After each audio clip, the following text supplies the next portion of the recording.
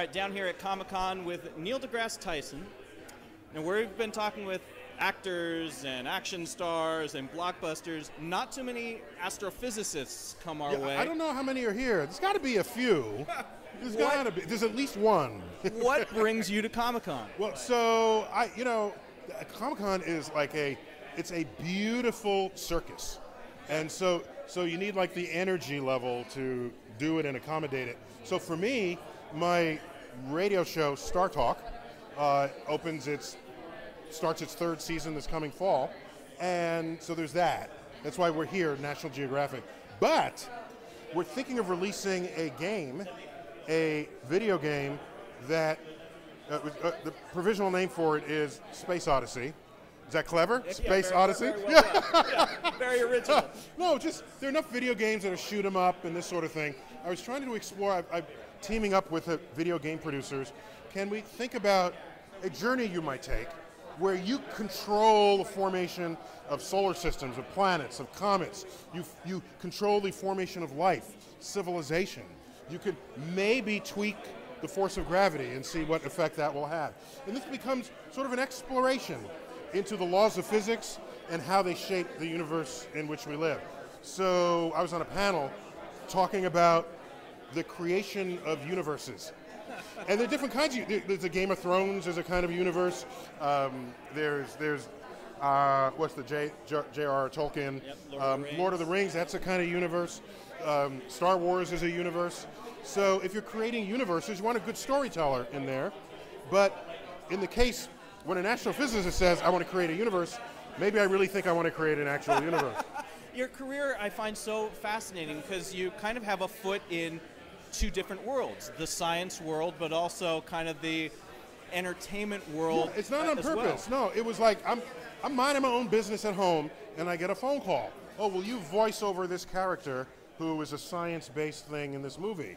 Or will you? And, and I'm flattered to be asked, but I'm also intrigued that we live in a time where artists are reaching out of their zone to scientists and technologists because they want to include that in what they create. It could be storytelling, it could be cinematographic, uh, uh, it could be uh, even today or yesterday, uh, what is it? Uh, Ice Age 5 opened up. Yes, there's been five of them. okay. I know. Let me wake you up to that. You, you obviously have kids. There's been the five. previous There's been five of them, and uh, almost as many as, uh, uh, as Fast and Furious, right? So I was asked by the Ice Age people, will I play a character that helps one of their characters save the Earth from a collision asteroid, a, a- a collision with an asteroid? And so, yes, I'm going to come for those because if they're not reaching to scientists, then they're just making stuff up.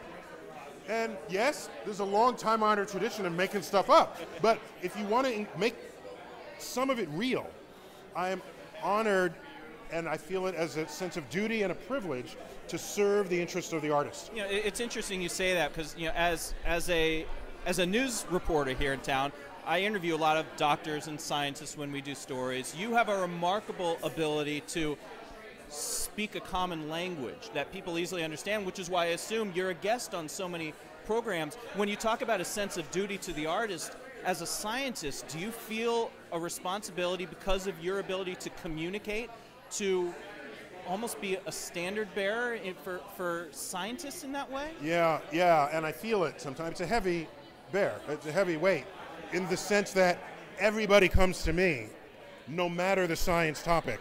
And I, I wanted to say, look, I have thoughts on all these things, but formally I'm an astrophysicist. So you want to talk science, let's keep it in the universe. Contain it within the universe. The actual universe, not these ones you're making up. the, the actual universe. So, but what I do, which I stumbled on really, is uh, I study and think about the architecture of pop culture. And I say, well, we're all familiar with, we are fluent in pop culture. That's the definition of pop culture. So if I attach science to that architecture, I don't have to prep you for it. You'll receive it immediately.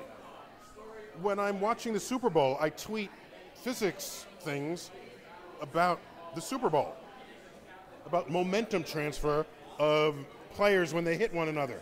About if the if the football gridiron is a timeline of the universe, all 14 billion years, then human history from cavemen to the present is the thickness of a blade of grass in the end zone.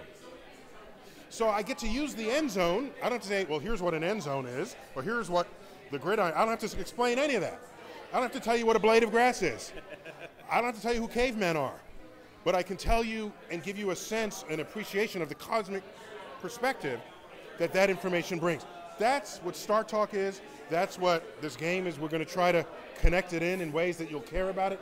That's really all it is. And that it, it, it confirmed for me that there's an untapped appetite, maybe even a, a geek underbelly of us all, where so some of us are more underbelly than others. and so a soft deep underbelly, where maybe nothing else you do in life celebrates what could be this interest that you have that maybe you didn't even know you had. Or maybe it was an ember that had gone cold and we just fanned the flame to make it rise up again. So, by the way, it's not just what I do. Look at the success of the TV series The Big Bang Theory.